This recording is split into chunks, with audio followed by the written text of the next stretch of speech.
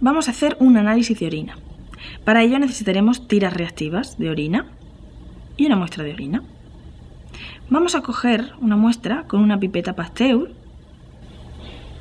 y pondremos esa muestra encima de la tira. Dentro de unos minutos veremos los resultados. Ahora vamos a centrifugar la orina. Para ello cogeremos una muestra con la pipeta y la pondremos en un tubo de ensayo. Ahora vamos a hacer un blanco. Un blanco es un tubo de ensayo que contiene solamente agua. Esto se hace para equilibrar los pesos en la centrífuga. Ahora pondremos en los tubos parafilm. Ahora meteremos los tubos en la centrífuga. El blanco le tendremos que meter siempre enfrente del que hayamos metido para que se compensen los pesos. Lo pondremos a 4500 revoluciones durante 10 minutos.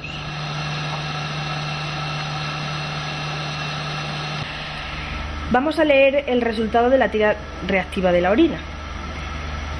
En primer lugar vemos que la bilirrubina, el urobirinógeno, la cetona, el ácido ascórbico, la glucosa y las proteínas son normales.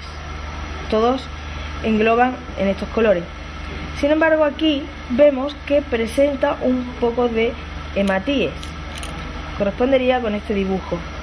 Luego esta, esta orina presenta un poco de hematuria. El pH es normal, los nitritos son negativos, los leucocitos son negativos y la densidad corresponde a un valor de 1030.